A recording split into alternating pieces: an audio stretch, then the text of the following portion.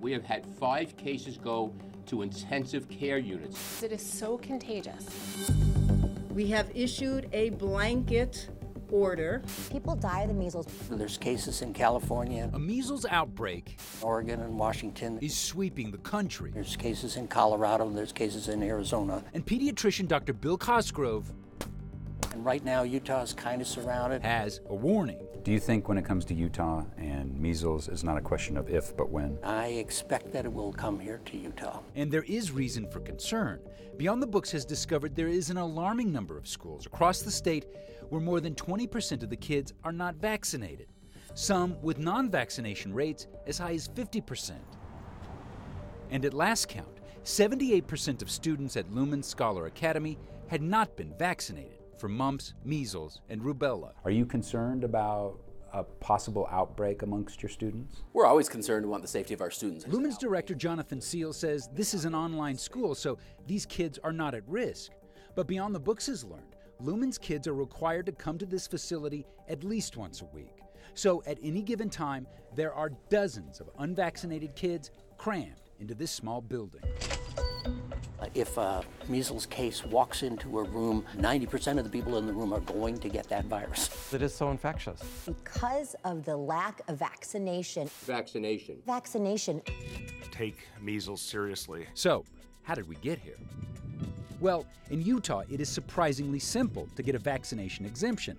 In addition to medical and religious waivers, Utah is one of only 17 states that grant exemptions for philosophical beliefs. In fact, of the 5,485 exemptions granted for school year 2018, 97% of them were for personal reasons.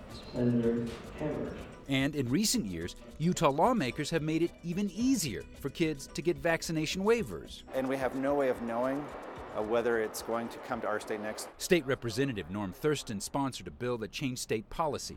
The old rules required a parent to go to their local health department to get a waiver, with hopes of a healthcare professional convincing parents on the fence about vaccinations to get their child immunized. But Thurston's bill allows parents to get their waiver online after watching a short video. That means no more face to face visits with experts. You opposed forcing or requiring parents to go to the health department. Yeah. Why was that? Uh, mostly it was a matter of convenience. It can have serious consequences. But that convenience, says Representative Carol Spackman Moss, who's been trying for years to tackle Utah's high vaccination rate, is making matters worse. Exemptions are going up, not at a rapid rate, but they're going up. Moss is correct. Beyond the Books has found that since Thurston's bill became law just eight months ago, the number of unvaccinated kids in Utah schools has jumped by about 270 students. Well, his bill just made it easier to get an exemption. It's an affront of parental responsibility. And Thurston, who incidentally works for the Utah State Health Department, says he supports vaccinations, but also supports parent choice. And he adds immunizations are not a cure all. Outbreaks are going to happen no matter what we do. But it's even less likely to happen if if everybody's vaccinated, right? Well, so if, if everybody's vaccinated, we, it could still happen because vaccinations do not provide 100% uh, coverage, right? Right, 97%. 97%. It's an extremely skilled virus, skilled at finding a new host. Tonight, Dr. Cosgrove says Utah is a likely candidate for the next measles outbreak.